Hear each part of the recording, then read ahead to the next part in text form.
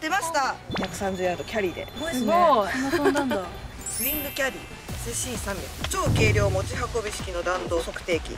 1.5メートル後ろにこれを置くだけ。ここで7番アイアンで選択するとこっちもね今同期してるから勝手に7番アイアン。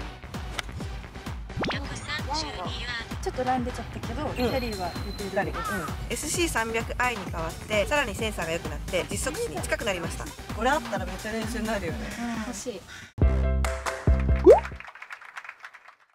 こんにちはじゅんです。いいです。はい今日はですねゆいちゃんのレッスンをやっていきたいと思うんですけども今回は前回あの飲みながらお話しした練習器具、ゆいちゃんが紹介してくれた練習器具を使って、まあ、レッスンをしていこうかなと思います。はい。いいですか？やっていきましょう。はい。はいじゃあまず1個目はじゃん。じゃん。1個目はファイヤーインパクトファイヤーインパクトこの前は多分スウェーしないようにするうん。やつみたいな感じでうんうん。そんな感じです紹介した気がする。うん。ここからいきましょうか。はい。これはどういうふうに使うんですか？これは、はい。こっちで。うん。OK 映ってます。よし。これは例えばなんかこうバックスイングの時にこうなっちゃう人。あがあ右にね。結構うんうん多いと思うんだけど横にスライド出ちゃううん。これを右足の外側で踏んで同じようにスイングするとはい。横にスライドしないで右足の軸に体重がこう乗ってる感じがめっちゃ体感できる。ここからこれ私今めっちゃ頑張って右に動いてるんだけど、うん。多分ここから全然動いてない。全然スウェーしてない。っうんそうだねていう、まあ、右足に乗るよく言うところの右足に乗るっていうのが体感できるのとそのスウェーしちゃう人はスウェー防止になる。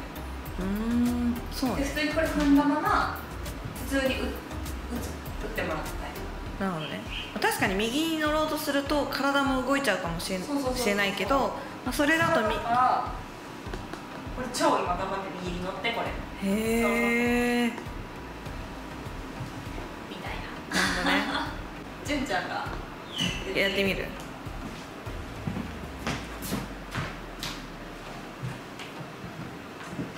ですっごいめっちゃ右に滑った。ちょっと待ってよ。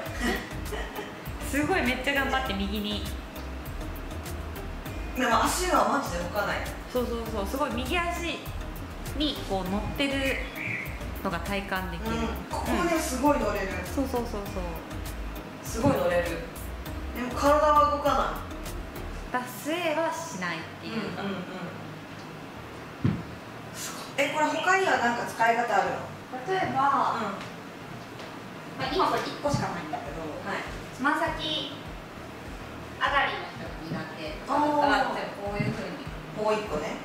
そうそう。こういうふうに踏んだりとか。おでこの下こういうふうにまあ、ボールの位置はどうしても練習場だからこう本当まあもうちょっとだろうけどだからこの位置で素振りしてみるとか。へえとか逆でもできるし。つま先下がりのね。つま先下がりとか。こういう状態おえー、いいね。そうそうそう。すごいのだって一番その私がレッスンでよく使うのが一番最初に言ったのスウェーしちゃう人。にはこれが一番いいですよファイヤーインパクト。へそうそうそう。えネットでねいくらぐらいなんですか？それちなみに。いくらやったやろそんな高くなかった気がする。なるほどね。1万円とかじゃない。うーん。1000円とかで売ってるいいね。なんか早速コメント欄にも買いましたみたいな。あほんまに。あったそうだからスウェーシーに人でも、うん。右足に乗っけて踏んでみてほしい。あその右足にこう乗るっていう感あなるほどね。覚結構右足にこうバックスイングの時にうん。こうなっちゃう人とか。ああこうなんていうんですかギッタンバッコンっていうの。そうそうそうそう、うん。こう逆になっちゃううんうんうん。人とか。あ右には回ってるけど伸び上がっちゃうっていうのか。なんていうんだろう。私も昔そうなってた。右に乗ろうと思いすぎて最後こういうふうになあって今もなってる。多分。たまに。最後グッて上がってから打ってるかも。ね、肩がこうこうなっちゃったりとか、する人とかも結構分かりやすい感じで、うん乗れるんだね。うん。じゃあちょっと最後にゆい先生にパシーンって打ってもらって終わりにしようかなということでやっぱり打ってるところが見たいと思うので足にファイヤーインパクト。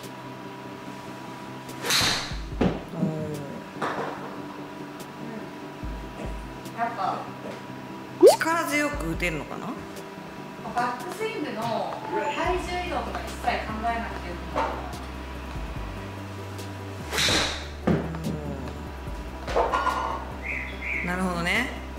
自然と乗ってくれるって感じか。そうそうそうそうそう。なんかバックスイングのこと考えてる間にさうん。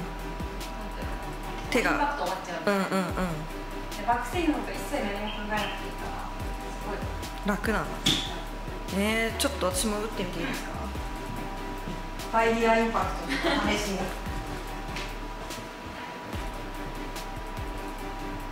お わかる？このなんか。すごいいいわ。なんていうんだろう？バックスイングのこの、うん。どっか行っちゃわない感じ。そうそうそうそこそこみたいな。のってすごい。ピタッといけるよね。ピタッといける。コンパクトに触れてる感じが。おおすごい。なるほどね。これね本当ね打ったらわかるうん打ってみたらすごい、あこれねみたいな。すごいわということで皆さん杖とかまあ体重どこに乗せたらいいかとか言えばいいかな、まあ、バックスイングの形体重、うん。はわかんないという方はぜひこのファイヤーインパクト試してみてください。村石さん案件ではございません。確かに案件じゃん案件ではございません。普段ゆうちゃんがレッスンで使っているはい。道具の紹介でございました。はい、ということで皆さんこの動画がいいなと思ったらチャンネル登録と高評価コメントよろしくお願いします。